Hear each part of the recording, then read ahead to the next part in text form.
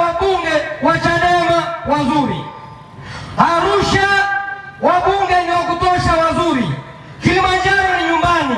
Tanga kila siku mnahangaika na CCM halafu naendelea kulia shida kila siku na chama tawala. Hapa mbunge wenu ni waziri tena wa afya, kuna shida ya afya waipo huku Tanga, waziri wa maji anatokea hapa kuna shida ya maji au hakuna?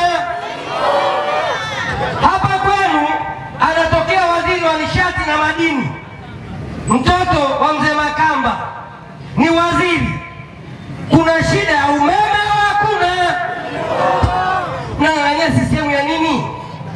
Sasa kule ambako sisi Chadema tunashinda ndiko maendeleo yaliko. Waliko CCM kila siku mnashangilia kuwashangilia watu wanaochukua mishahara na kujenga nyumba na kuishi vizuri. Tanga mnateseka, badilikeni. Siku zote mageuzi ya nchi yoyote yanaanzia kaskazini. Ukombozi wa nchi yoyote unaanzia kaskazini. Tanga mnatuangusha. Ukombozi kaskazini ungekuwa asilimia mia, maendeleo kwenu yangekuwa makubwa kuliko unavyofikiri. Ninaomba niombe Wanatanga,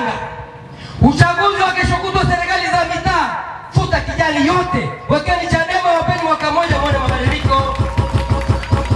Uchaguzi mkuu, weka wabunge, pata rais wa Chadema, alafu mtupe miaka mitano tu Chadema. Mimi nawaambia tupeni miaka mitano, mtatuongezea mingine ishirini, tutaibadilisha nchi. Tanga itabadilika, itakuwa ya kisasa kama mikoa mingine. Na naomba naomba kaeni na viongozi wetu, mjisajili kwenye chama, chukueni kadi za kisasa.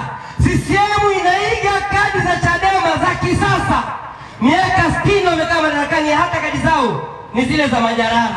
Chadema tuko teknolojia zaidi. Peoples, jiungeni na Chadema, kaeni na Chadema, shirikiani na viongozi wetu, tunawahakikishia CCM wenyewe hapa waliko wanataka urafiki na sisi ili tuwabebe, lakini kipindi hiki naomba tuwadondoshe. Peoples, Tanga, Mungu awabariki sana.